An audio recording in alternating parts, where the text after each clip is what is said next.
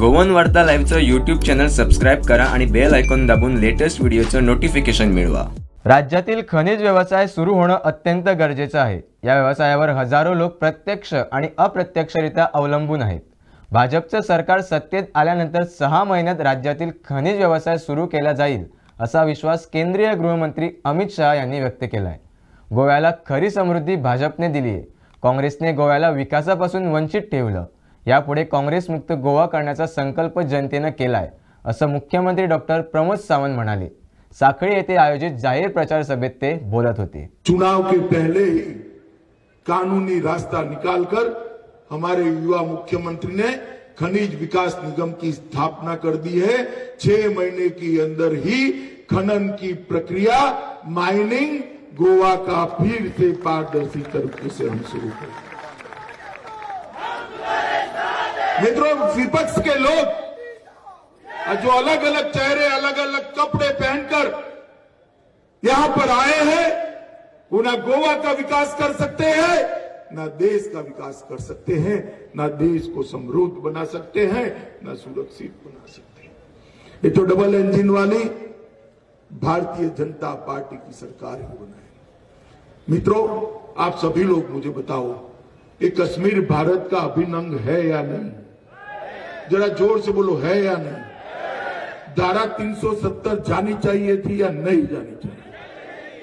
जब धारा 370 हटाने के लिए नरेंद्र मोदी जी के नेतृत्व में नरेंद्र मोदी सरकार एक बिल लेकर आई। ममता बनर्जी, कांग्रेस, एनसीपी, सारे के सारे ये बिल के खिलाफ वो कहते थे कि धारा 370 नहीं हटनी चाहिए। हमने पूछा, क्यों नहीं हटनी चाहिए? कोई जवाब नहीं था। जवाब आया कि खून की नदियाँ बहेंगी। देश में कई लोग मारे जाएँगे। मित्रों, सालों से जिसका सपना देखते थे, नरेंद्र मोदी जी ने धारा 370 को अब 5 अगस्त 2019 को उखाड़ कर फेंक देने का काम नरेंद्र मोदी और ये कह रहे थे, खून की नदियाँ बहेगी, खून की नदियाँ छोड़ो, कंकर भी डालने की किसी की हिम्मत नहीं हुई, किसी की।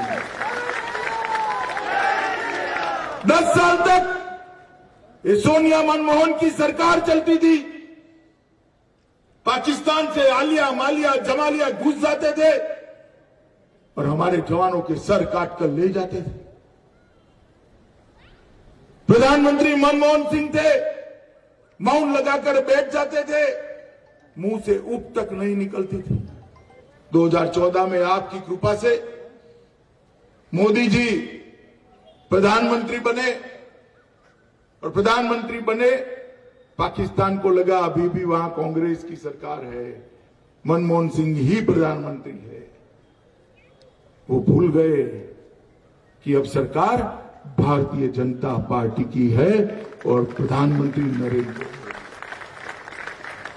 उरी और पुलवामा में हमला किया, हमारे जवानों को ज़िंदा जला दिया।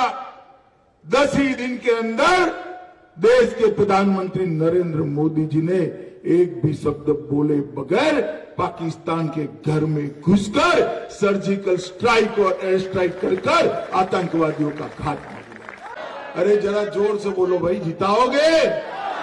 कमल के निशान पर बटन दबाओगे? प्रमोद सावंत के हाथ मज़बूत करोगे? मोदी जी के हाथ मज़बूत करोगे? तो मेरे साथ दोनों हाथ उठाइए। 22 के विजय के संकल्प का 22 पार का संकल्प का मुट्ठी भींचकर प्रचंड आवाज़ से बोलिए भारत माता की